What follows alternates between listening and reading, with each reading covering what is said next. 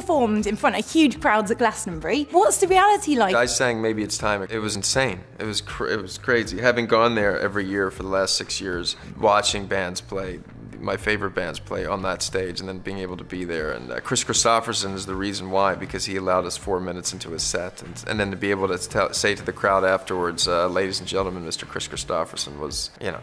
If you told me that when I was 12, I would have thought you were crazy. Got to ask about The Shallows as well. This has just come out. It's a very emotive song. Yeah, it's a wonderful song that Lady Gaga wrote with Mark Ronson and two other writers. I really loved that song when she had first played it for me, and it was just finding out the best way to utilize in the movie and then the idea of maybe making it a duet instead, having it be the first time that he hears her sing a song that she's written uh, on the spot. So it really wound up being a real anchor for the whole movie. Did you get singing lessons for it? Oh yeah, for the movie? Oh yeah, Roger Love, this incredible vocal coach. I worked with him five days a week for months, yeah.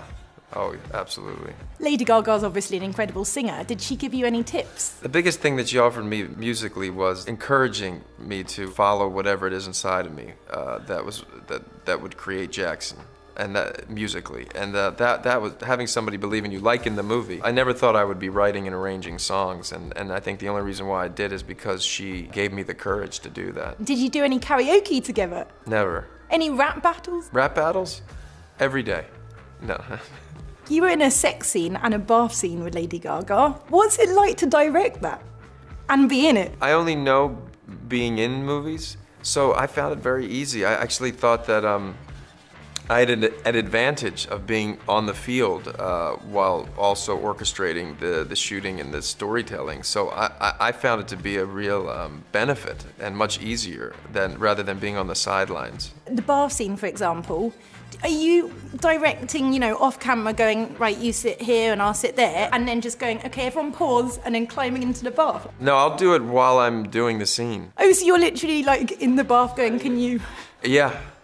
Yeah, to, to the chagrin of the actors, yeah, but I think they got used to it. But the benefit of that is you're also keeping the rhythm. So you're, you're, you don't have to stop. How did you and Lady Gaga bond? Because your chemistry together was just amazing. You know, it's one of those things you can't manufacture. If you try to do it, just takes too much energy. We just, I, maybe it's because we have similar backgrounds. I don't know. You can't really choose when that happens. We have a similar work ethic. Luckily, we were able to utilize all of it for our characters. What would you say is your funniest or most memorable moment from filming? We laughed a lot on the set. Uh, there are a lot of funny people on the set. Dave Chappelle and uh, Andrew Dice Clay. We had four stand-up comics that played characters in the movie, so there was a lot of comedy. Yeah, there's a lot of laughing with the crew. I find that to be important to create an environment that everybody feels pretty open and safe. So there's always going to be laughing when that occurs. There was also times, a lot of times when there was no laughing. Yeah. Was there any pranking that went on? I'm not a fan of pranking. Pranks, I, I never got that. When you have an experience that's life changing, which this was for me, um, there's so many tokens of memories that, that I'll hold on to forever.